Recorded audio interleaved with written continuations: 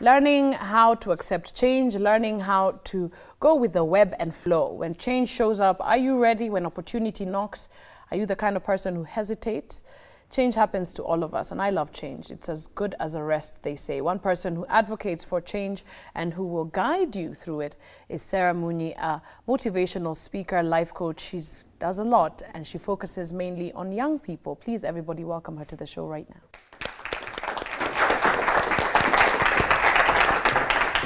Hello, Sarah. Hi, Kobe. How are you? Great Nice to, to meet, meet you. you. Mwah. Thank you. Thank you so much for being here. Thank you. First of all, you tell me, did the equator move? I know, right? Oh, or we are moving to the tropics? I don't know because No, it is freezing. It is winter. It is It is- officially winter, and we just have to get used to it. it is winter now. I know. But it's great in here and warm. I know. Thank you very much for the Thank warm you reception. For being here. Thank you for being here this morning. I appreciate. I think we start from the very beginning. Mm. Who is Sarah? I, I, I have to tell you guys, we tell most of our guests to send in pictures um, and video footage just to support their interviews. And I saw your photo and I was like, wow, she's really young because her picture came with her CV. And she's done a lot. And I thought, wow, for, for a young woman, you've done quite a lot. Tell us about yourself and how you got into the work that you do. Yes. So first of all, Sarah is a sister, a friend, and I like to call myself a change advocate. A sister because I realize people want to deal with somebody who actually cares. Whether you're doing business or whether you're whatever it is that you're doing, you want to deal with somebody who cares. A friend because we want to do business, we want to relate with people who we know. And then from there now, I realized that for you to grow, for you to develop, for you to excel as an individual, as a company, as a student, as an organization, you have to be very adaptive to change. Right. Yeah, there's somebody you know. I mean, if we um, you've been in a history class, he's called Charles Darwin. We remember him for the evolution theory, and he has done a lot of study uh, in very many organisms and animals and you know birds. And he made a note one time after his many years of experience, and he said that it is not the strongest of animals that survive, nor the most intelligent, but the ones that are most adaptive to change. Right. So, so you can be very strong, you can have a very strong personality, you can have a very strong brand even as a company.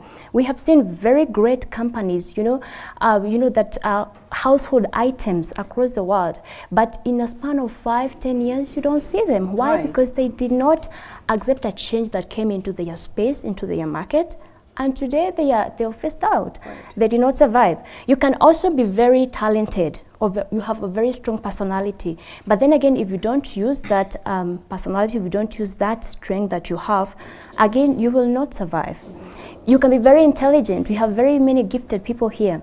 We are looking at uh, university students. They're very. I mean, most of us who have gone through that mechanical, you know, way of life primary, uh, secondary, and then you know university or campus or college, wherever, you find that you have a lot of knowledge. You're very knowledgeable, you're very intelligent. But then if you don't package this knowledge well, to know how to translate it from the classroom to the marketplace, then you will not survive. Right. And you start wondering, where did I go wrong? Yeah, so I, for me, I come now and when you're asking how do I actually achieve my dreams, how do I now translate what I have, this knowledge I have, to money, to even, you know, to satisfaction in life. Success, right. To That's success, all yes. the pursuit of happiness. Yes, how do you do that? So for me, I come uh, at this page, how, how do you do it? Okay. Because that's the question that we are mostly asking ourselves, how do I do that? How do I get there? Yeah, and I usually say that change is the way. Change is the way, You- yes. I, and I always say this, uh, and there is a huge saying, I think everyone knows it, that Mm. um, goes, you know, you can't keep doing the same thing And expect different- different results. Yes. That's actually the definition of insanity. Yes, exactly. Right? And a lot of us actually do because it's habitual. A lot of us do the same thing. You do the same thing year after year. Even 2016, you, um, we were like, we won't do it that way. And we're back to doing it exactly because it's our comfort zones, right? Yes, yeah. Talk to us a little bit before we get into the how. Mm. Um, why is change so daunting? Why is it uncomfortable? It's very uncomfortable because you see, actually, I for me, I will start with definition of it, and I like to say that change is the loss of something familiar. Whatever it is, you have lost a, a, a, a, situation that you are used to. You have lost maybe the, the, the change copy that we have possibly all of us gone through is the loss of a loved one. It's a change. It's it's very you know it's very deep and it's very painful. Yeah, but how and what you're dealing with right there is fear how will I survive without this job? I've just lost my job. How will I survive if I get out of campus? I'm so used to campus life. I'm so used to my friends here in campus. Now, when I go out, what you are actually dealing with fear there. Mm. And if you're going to move to the next stage, if you're going to move into even the job market, if you're going to move into the next level, even as a person who has worked for quite a while, you have to be very ready to face the fear yeah you have to be very ready to take risks. Mm -hmm. yeah so you must be a risk taker number one if you want to develop yourself because this is what happens kobe. We come out of university or whatever or, or from our learning institutions we go to workplace and then let's say you even studied law. You studied law and then you get you're looking now for job you're looking for a job you've now left uh, college. Then you find the only job you can find is sales and marketing most, most young people, that is what happens. And then you say, okay, fine, at least I can pay my bills. I don't have to call my mother for money, so I'm good. And then you just sit, you're comfortable you're there, you're comfortable, and then you find two, three, four, five years, you're still there, and you're wondering, why did I study law? Why did I study mass com and I'm doing sales here of electronics? Mm -hmm. You, you start, you can't relate. And then you, you're finding people who are younger than you, they're coming out of college, they're getting promoted, they're, they're, they, their, pay, pay, their pay is raised right. over yours, and you're wondering, where did I go? It's it's an action you need to take, and you need to change the way you think. You need to change. You need to take a risk. You have to be very ready to do that if you're going to to get to the next level. Yeah, risks are huge, aren't they? Yeah, I believe that, and and um, I think a lot of the time it's fear right? Mm. A lot of us are just scared because it's mm. something new, we're not used to it, there's, there's all, all these different things that come with it.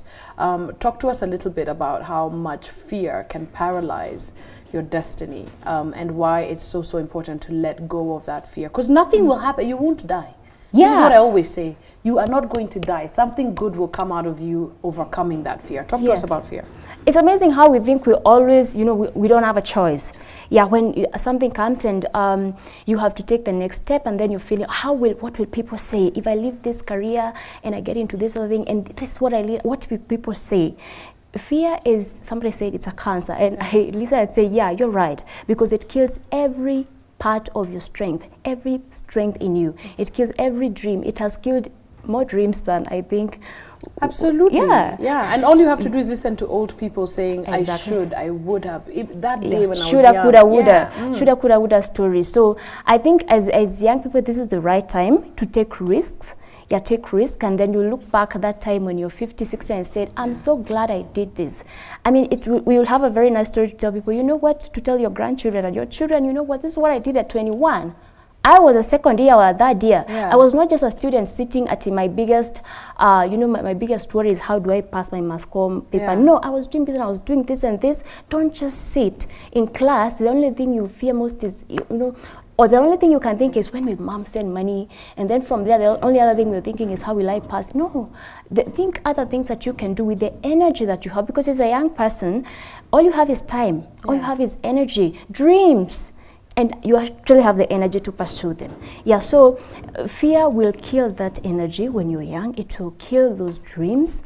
And then you'll sit back somewhere when you're 60 and you're wondering, what did know, I do? What did I do? Yeah. What have I done? What what can I do? And you know, I mean, most people actually they die out of you know th th th those kind of regrets thoughts and, and regret and should yeah. have, could have, would have.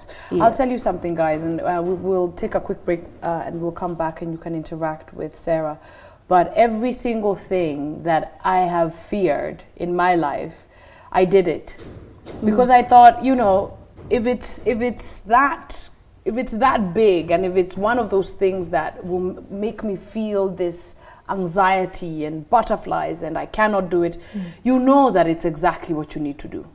All right? Because things that don't make you feel that kind mm. of way usually are not the right thing for you. Yeah. And it's not probably your path. Yeah. You know, but things that make you fear, you've got to do it. You'd rather try fall flat on your face mm. than never have tried at all, right? Mm. Right? Are you guys ready to interact with Sarah? You are? You have some questions for her? Fantastic. All right. So that's exactly what we're going to do. You're great, by the way. Thank you. I love it. Isn't she fantastic? Give her a hand. Okie dokie. So we take a quick break and we come back. We'll interact a little bit with Sarah. Remember, change is coming. Are you ready? That's the question. And then, of course, we thank Nivea for helping us here on Better Living achieve the perfect balance. We'll be meeting our three ladies this morning, so don't go anywhere. We'll be right back. Yes, okay, and we are back, everybody, talking, of course, about adapting to change, and we all need change. I believe so, all right? In 2017 is, I think, proof enough that things will change when you least expect it. Don't you feel that about this year? Sure. Yeah, it's, it's a bit all over the place, right? Okay, so we are back with Sarah Munyi. I think it's important we figure out how you got into being a motivational speaker, being a life coach. Uh, what, what led you into it as a young person? Yeah, it was very interesting, Kobe. And uh, I, I, I, like everybody, I didn't know what I was doing. So this is what happened one day. Well, I come from Kirinyaga, Kirinyaga County, huko ndani mashinani huko. Yeah, and uh, my mother is a primary school teacher there. So there's th- this uh, function taking place there. Hi, you want to know the name of my school? It's called Mugwandi Primary School. Now, don't ask me what that name Mugwandi. means. Yes. All right. Shout out to Mogwandi. Thank you. And um, there was this event that was taking place there. And some people were coming to donate things there. And so I said, my, my mom was making a big fuss of it. So I said, okay, mm, let me go and see what is happening there. So I went and uh, I just felt as I was going that I'll speak to the students. I don't know, I've never done this thing before. So when I got there, the first thing I met with the deputy of the school there, the deputy uh, uh, head teacher, and she says, Sarah, first of all, you have to speak to my candidates. I said, okay, what about? Then uh, she took me to, to the class 8, Yeah. to the candidates there, and it so happened that the father in charge of the region was there. So, you know, this was a former student of ours, and she introduced me very well. And uh, so she said, so speak. So, what do I say? So because she took me to the same class that I was in class 8, because that's the primary school where I went. So I told them, you know what? I sat on that seat. In fact, I used to sit right here. I wore the same uniform. I had the same teachers. In fact, you know Mr. So-and-so, he was my Kiswahili teacher. He's still there. And I read the same books. And you know what? I'm somewhere in life. Mm-hmm. I don't know. I just said that. Do you know those children that opened up to me? They told me their dreams. It's like they've never had anybody tell them that. And you know, it was so amazing. I felt so good. I felt like I've lived for something. For the first time, I felt something very different and very nice. And it was very natural. And then the father said, No, in fact, you have to speak to class seven. So I went to class seven. I told them the same thing. I went to class six, and from there I started engaging me in very high conversations of how education is doing. I don't even know. You know, I was yeah. for me, I was just doing something that, that I spoke as if I know. Then from there he took me to other schools. There I realized what is this.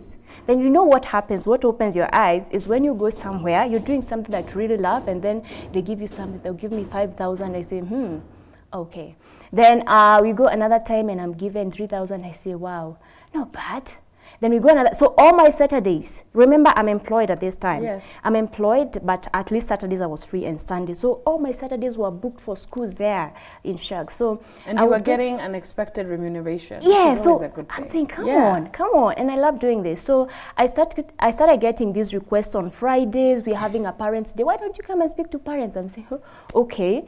So and I will I find I'm given 15,000, 20,000. Hey, when I got 20,000, I say, ah, what is it? Come on, I wanna do this. This is what I, want to do for the rest of my life. I love doing this. So this is what happened. I meet with a friend of mine. She she she she does. She has her children. So my how do I impact these students more? I feel I need to do more. I have something to give them. This is what I realize as a young person. So she tells me, you know what? There's actually a, a personal uh, development school that's opening, academy that's opening, and there's a meeting this evening. And you know what they say? When the student is ready, the teacher appears. Yes. So I went and met Pepe Minambo. If you know Pepe Minambo, he was Yes, I do. Ah. Actually, he's an author. Yes, he's an author and, and a very uh, good uh, speaker.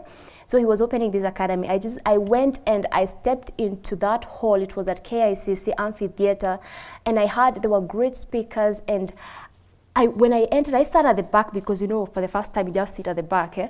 and I looked and said. This is where I belong. I can do that. I can do what he is doing. Right. I know I can do this. I'll stand at that stage one time. And let me tell you, so has it happened. And the rest is history. The rest is history. We're here. Exactly. We're here, Kobe. Yes. Give it up for her. Yeah. But before we speak to these beautiful young people, before, of course, um, that whole moment of this is what I need to be doing, Yeah. there's the reality. You have bills to pay. Ah, yes. You have to eat. You have to move back and forth in town, right? You need money. You Yeah. ha- You, have a job, Yes. Right? And you've decided now, no, I'm going to be a motivational speaker. Tell us about that change and how you handled it. Exactly, that's very important, and many people find themselves, in, but you know, thinking about that. So, I, I was employed somewhere. I was actually doing. Um, I was I was a key account manager. That's basically sales. Yeah. Uh, It's just called some nice names there. It's sales. so, but anyway, my background was IT. My background was IT. I had studied IT at JKUAT. And I, I, I find it's something, it's something that I had thought about about three years before. And I said, my God, th- this is not what I want to do. I, I feel I can do, there's more to life than what I'm doing right now. I would always feel, you know, there's that part in you, Kobe, the greatness within you, it, it, it cannot be cheated. It cannot be cheated. When you are doing something mediocre, it will always know. And you'll always feel you're not satisfied, you're being underused or underused or misused. Yeah, so I would always feel that. And I knew for me, for the next two or so years, I would I'll not be here and I don't want to be doing IT, even if it's what I've studied. So it's just that I hadn't really put, put a finger on what is it that I want to do. So the minute my eyes opened, let me tell you, I had a loan. I had a loan I was servicing, I had commitments, you know, but that moment I, I thought about it for about one and a half years since I knew I want to be doing this. I want to be doing trainings, I want to be doing, you know, life coaching. About one and a half years. And then it was time. So in 2015, I jumped. And that was it. I jumped, yes. I just went and told my, my MD and told her, you know what, I admire you. I, she's a lady. I admire you as a businesswoman, as an entrepreneur, and I'd like to be like you. I don't think I can be like you working for you. I need to be independent so that I can grow from the ground. I will come to you for advice. Yeah. She actually was, so, she, how old are you, Sarah? I told her, you should have even have done this three or four years ago. I started at 23. The kind of advice she gave me is what now made me now feel now I'm doing the right thing. And that's Yeah. why you're here this morning to give people advice on how they can take that leap. Exactly. I believe in big leaps. Don't you guys believe in big leaps? I really do. All right, so we have a young man here, all right, um, who's got a question for you. All Hello, right. good morning. Hello, good morning. How are you? Sir, I'm fine. Good. What's your name? I'm John Monotics. Okay, so you have a question for Sarah? Yes, I have a question. Hello, Sarah. Hello, how are you? Uh, there's this saying that goes, if you want to make enemies, Mhm. just try and change something. Mhm. Don't you think it's too risky to like change because you might be risking losing allies and making your allies your enemies? Tell you allies. I'll tell, that's a whole other show, but okay. All right, very good. But you see, what is more important to you? Is it your own success and you accomplishing your dreams, or it's making somebody happy? You could be making somebody happy, uh, happy at the expense of your own happiness. So, what is important for you?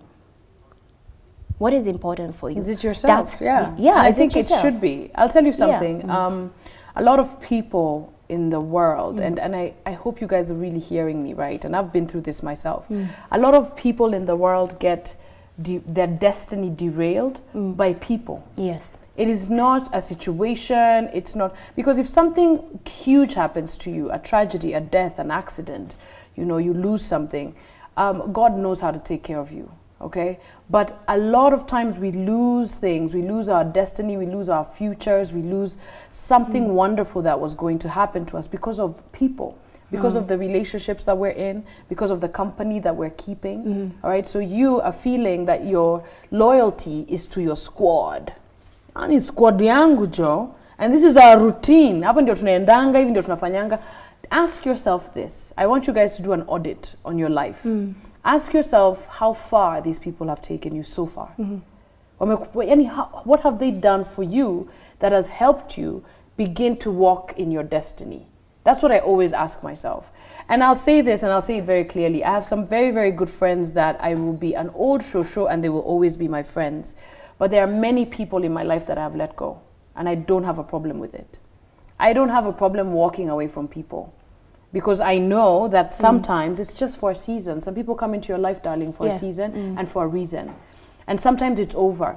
Have the divorce, have the funeral, say goodbye, and keep it moving because you are here in this world for one thing only, and that's your destiny mm. and your purpose. Yeah? You feel me?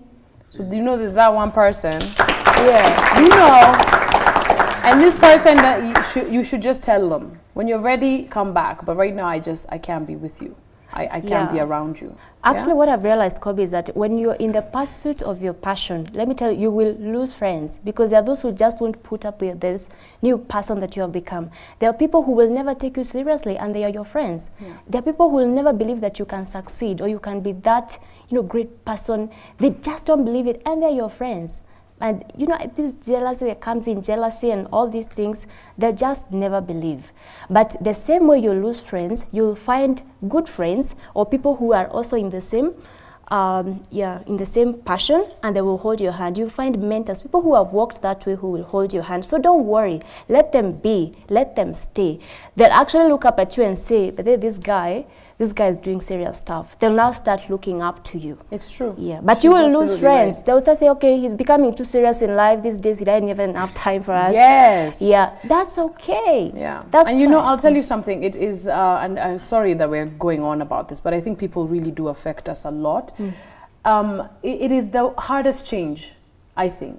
The change Yes. that is is connected to someone. You know, there's emotion, there's love, Hmm. Yes. there's there's routine. You're used to this person. This is the person you talk to daily. Hmm. You know, they are part and parcel of your life. But this person is derailing you. This person is holding you back. This person is not encouraging you, and Mm. all they're doing is pouring toxic energy into your life. It is the hardest thing to do. Change your changing jobs easy, school easy, courses. Because you guys, you know how to change courses like no other, right? Courses Yeah. easy. Changing lecturers, changing the hand plan for the weekend. It's like this, but removing somebody, because a lot of times these people won't just go away. You know, they just won't go. But it is so important that you just do it. Cut them off. Me, I, s- I have to have a whole. We have to have a whole show about cutting guys off. Yeah. We do because it is so so crucial, guys. All right. Anyway, we have a second guy with a question. I think we might have answered his question in the all that talking. Go on. Hi. Hi, What is your name? my name is Eric, Uh huh. And uh, I got a question for Sarah. Go ahead. All right. Um, I have two questions actually. The first one is um, how can you classify change, whether it's uh, it's good or bad in light of uh, conflict, because you know where there's change, there's supposed to be the result will there will become a uh, conflict. And the other question is if you have a platform where we can uh, I can refer my friends to come and see uh, about your work because for today I'm motivated, I'm inspired by you. Amazing. Good Wow, question. great. Yeah. You see, there's not every change is a change for the better. You can change for the worse. But here we are looking at change as a growth enabler because you want to grow your career, you want to grow your business. We are looking into you want to grow your your, your relationships, you want to grow in them. So here we are addressing change as a growth enabler and as a progress, what will I call it, propeller. If you're already into, you know, into your passion, how do you progress? So we are looking at change that way. Otherwise, you can change for the worse. So if, if, if, if, if you know, for you, you want to be, um, you know, you, you have your dreams, you want to be this person, you want to be this great, you want to build this great company, then you have to look at change very positively. It will have, it has its hard moments, you know, because it's not easy, you're dealing with things, new things every day, but uh, they are doable and they are manageable. Yeah, so it's just the resilience and the persistence that will keep you going. The resilience and the persistence. Yeah. Okay. Fantastic. And So then I he wants to know where to find you. Yeah, so what I do is that I usually do trainings. Actually, I have a training program called Change to Excellence because I know that, you know, Kobe, even as we're speaking about change, it's not change that we really want. Yeah. Ultimately, it's not change that we really need. What we really need is excellence in what we are doing. So I call it change to excellence. Excellence is a life to be lived, but change is the way there. Yeah, so I usually do that, that training. I, I do it here in town. I also have an online one that I do. I, I usually I, I post a lot on my social media. I have a page, Sarah Munyi, you can find it. And I'm always organizing for talks in town or in schools. I, I usually I do those talks a lot. So I, I think I can get your contact after this and I'll be inviting you. Fantastic. Yeah. We're going to do one better, okay? For Yeah. those who are at home, we are going to connect you to Sarah. She's online, very, very savvy. Her IT degree has come in handy because she's using it, all right, Yes, to, exactly. to, to, uh, for her digital footprint. So log on to social media platforms where we'll connect you to Sarah. There's something I have to talk about before we take a break. Um, giving up. Yeah, we all give up a lot uh, when something is too hard, when we feel like we can't, and we always give up just just before the good things happen. Yes. Um, we quit the job, we walk away, we leave, we throw in the towel. Um, at what point, especially when you're going through change, should you not give up, and when should you give up? Yeah, actually, there, there are battles that usually say they're not worth fighting. Yes. Yeah, I do say, okay, this one, I give up on it, and I'll concentrate on things that actually inspire me. So, but what what point uh, do you not give up? Yeah, let me tell you, the, the, the hardest part, the hardest part in life or in whatever it is that you do is all, always comes when you are just about achieving what it is that you want. Like when you're finishing, maybe for those for students, if you just when you're finishing your degree, you'll find maybe you have a project and it's usually the hardest. You have a project, I don't know, you have to go and look for things, you have to do research. It's always the hardest, but you're just about finishing. You give up there and you waste a lot of time, you waste energy and you waste money. So, and anyway, if you had to make it, even if you do it again, you still have to go through the process. So, hold on. The difference between you and the person who has graduated is that they went through that extra mile. They, they stayed the course. They did not get out. The reason why we celebrate David Rudisha or who else do we celebrate here? Lupita. Lupita Nyong'o. love Lupita. Yes, yes. It's because these people they did not give up. I mean, shooting that movie, I but then I show, I I I I I, I saw watched it. it, yeah. I watched it, and it was you know you some things that she went through. That I mean, or she, that personality she personifies was were very hard. Very hard to go through, but she stayed the course. She did not give up. If you want to be like her, if you want to be like your mentors, that person that you say, I want to be like Bill Gates, I want to be like, you know, those role models that you have, you gotta stay that extra mile. That's what they did. That's the difference between them and you. They stayed that, they stayed the course for that extra mile. They paid the price. There is a price to pay for your great destiny, and it is that you, it's that part where you want to give up. That's the price to pay, and that is why people res- we respect people. That is why we adore people. That is why we immortalize people like Nelson Mandela because you know they stayed the course and they did it to the end. Sarah, you're awesome. She is super, super awesome. Thank you, Sarah. You were great. Thank you. Are you gonna come back? Oh yeah, sure. I'm gonna come Fantastic. back. Thank you, honey. We Yeah. appreciate it. You were awesome.